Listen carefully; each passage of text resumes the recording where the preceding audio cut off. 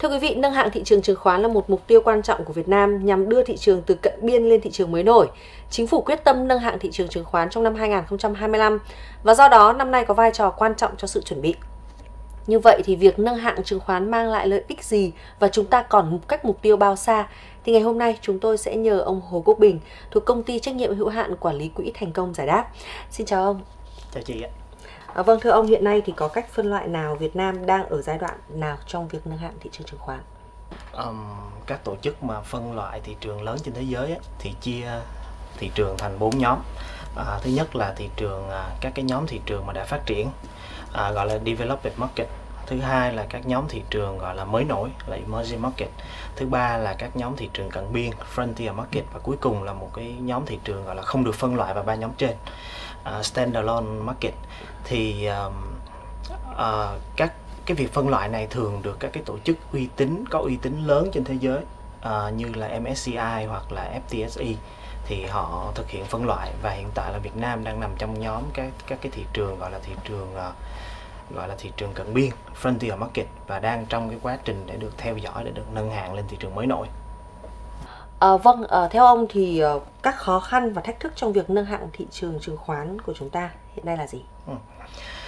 Nói về quá trình nâng hạng thị trường chứng khoán ấy, thì thật ra là Việt Nam cũng đã đi được một cái chặng đường tương đối rất là dài.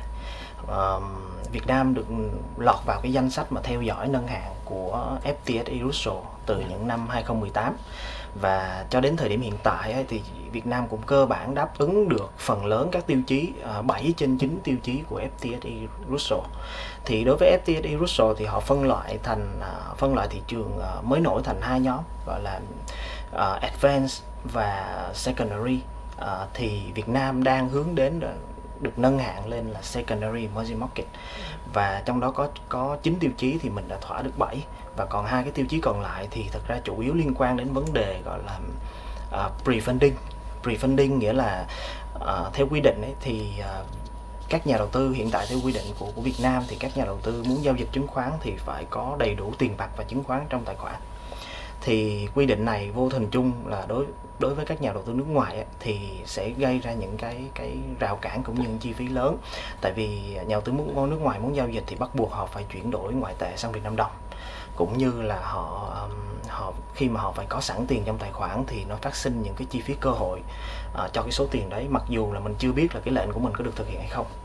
Cũng như là họ chịu một cái rủi ro tỷ giá trong cái quá trình mà họ nắm giữ đồng nội tệ để chờ giao dịch. Thì đấy là những cái cái cái hạn chế và làm cho uh, thị trường Việt Nam nó nó giảm đi cái sự hấp dẫn trong mắt nhà từ nước ngoài. Thì tổ chức FTSE họ đòi hỏi là Việt Nam phải giải quyết vấn đề pre-funding đó thì um, cái cái giải pháp tối ưu nhất cho vấn đề pre-funding đó nó nằm ở cái cơ chế gọi là đối tác trung tâm CCP à, ờ, cơ chế đối, cơ chế đối tác trung tâm đấy uh, thì sẽ bên uh, VSD sẽ là đứng đứng ra là một cái đơn vị đầu mối để thực hiện gọi là thanh toán với các cái đối tác thanh toán bù trừ là các công ty chứng khoán hoặc các ngân hàng thương mại. À, nó khác với cái giao dịch hiện tại khi chúng ta đang thực hiện gọi là thanh toán uh, bù trừ đa phương thì khi CPP đi vào ấy, thì nó sẽ giải quyết được vấn đề là các nhà đầu tư sẽ không cần phải ký quỹ 100% trước giao dịch mà họ có thể ký quỹ ví dụ theo một cái tỷ lệ 20 30% nào đó. Và uh, đến chu kỳ thanh toán ví dụ T cộng 2 thì mới phải chuyển hết số tiền còn lại để thực hiện cái việc nghĩa vụ thanh toán. Thì điều này nó sẽ là một trong một cái tiêu chí quan trọng để mà FTSE họ họ phân loại Việt Nam thành thị trường mới nổi. À, tuy nhiên mà để triển khai ờ, uh, CCP ấy, thì hiện tại mình cũng đang đang vướng phải một số vấn đề. Thứ nhất là CCP được phát triển gắn liền với hệ thống KRX trong khi KRX chưa đi chưa kịp đi vào hoạt động trong trong dịp lễ vừa rồi.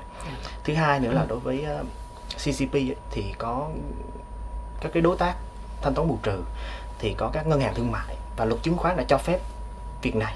Tuy nhiên trong luật các tổ chức tín dụng ấy, thì hiện tại mình chưa hề có một cái cái cái quy định nào à, về cái hoạt động này cho các ngân hàng thương mại. Vì vậy nên là về lâu về dài mình vẫn phải sửa luật thì cái giải pháp mà mà mà ngắn hạn đã đặt ra để mà Việt Nam kịp cái cái quá trình tiến trình nâng hạn đến hai năm 2025 á thì vừa rồi ủy ban chứng khoán họ có ra một những một cái dự thảo sửa đổi thông tư 120 à, thì thông tư 120 là là cái thông tư quy định về việc là các nhà đầu tư muốn giao dịch phải có đầy đủ 100% tiền mặt. Thì hiện tại uh, dự thảo cho phép đẩy cái trách nhiệm về phía công ty chứng khoán là công ty chứng khoán sẽ được quyền uh, đánh giá KYC khách hàng đặc biệt là các cái định chế gọi là các cái nhà đầu tư tổ chức nước ngoài, để xem xét là có thể cho họ ký quỹ trước và không cần phải đầy đủ 100% tiền mặt trước khi giao dịch. Và sau khi T cộng 2 thì mới mới mới thực hiện thanh toán, nhà đầu tư mới phải chuyển đầy đủ tiền để thanh toán. Thì đây là một cái giải pháp, tuy nó mang tính tình thế, nhưng mà nó sẽ là một cái bước ngoặt để mà mà giải quyết được vấn đề pre-funding và từ đó là cơ sở để FTSE có thể phân loại Việt Nam thành nhóm emerging market vào tháng 9 2025. Dạ vâng. À, ông có thể chia sẻ uh, những cái lợi ích về việc nâng hạng thị trường chứng khoán uh, đối với Việt Nam và các nhà đầu tư của chúng ta trong nước không? Hmm. Uh, lợi ích mà để mà nâng hạng thị trường chứng khoán thì thật ra nó rất nhiều. Tại vì trong xu thế phát triển của một cái thị trường tài chính thì tất nhiên các cái quy định và các cái tiêu chuẩn nó phải ngày càng được nâng cao. Và Việt Nam cũng không có đi lùi khỏi cái xu thế đấy được. Và việc hoàn thiện các cơ chế giao dịch cũng như tạo ra sự minh bạch và công bằng giữa các nhà đầu tư nó là một cái điều mà mà mà bắt buộc. Thì nâng hạng thị trường chứng khoán là một cái dấu mốc nó đánh dấu là cái việc phát triển cũng như cái hệ thống vận hành của thị trường nó được tương đối hoàn chỉnh. Và cái việc nâng hạng này nó sẽ thu hút ngay lập tức một cái lượng vốn đầu tư nước ngoài rất là lớn từ các cái quỹ mà họ họ họ theo dõi uh, các cái chỉ số. Thì họ sẽ phân họ sẽ phân bổ vào Việt Nam một cái lượng tiền ngay lập tức. Nhưng mà về lợi ích về lâu về dài thì khi mà thị trường đầu tư toàn cầu phát triển lên à, quy mô tiếp tục gia tăng và rất nhiều quỹ đầu tư họ tham gia vào cái cái thị trường emerging thì cái dòng vốn mà để đổ vào thị trường của mình ấy, nó sẽ là rất là lớn ở trong trong tương lai. Nó theo tính toán thì nó có thể lên đến hơn hơn hơn hơn 10 tỷ đô. À, vâng một câu hỏi cuối cùng. À, không phải cứ lên hạng thì là chúng ta đã yên tâm phải không ạ? À, sau khi lên hạng thì còn phải nỗ lực để trụ hạng. Vâng. như vậy thì làm sao để duy trì thứ hạng? Uhm, thật ra là là trong cái dòng chảy chung của thị trường tài chính toàn cầu thì chúng ta phải luôn luôn luôn liên tục cải tiến hoàn thiện những cái thể chế hoàn thiện những cái quy định cách vận hành thị trường để mà chúng ta có thể duy trì được cái sự uh, phân loại ở một cái cấp thị trường cao. Ừ.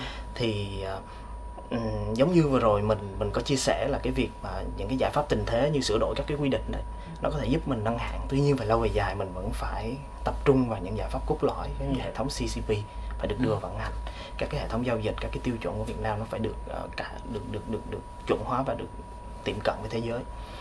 Và một điều nữa rất quan trọng nữa là chúng ta phải giữ được cái sự ổn định về kinh tế. Thì thì niềm tin của nhà đầu tư được duy trì. Thì từ lúc đó thì thì thì thị trường của chúng ta mới có thể là tiếp tục được trụ hạng và nâng hạng lên những cái mức cao hơn. Dạ vâng.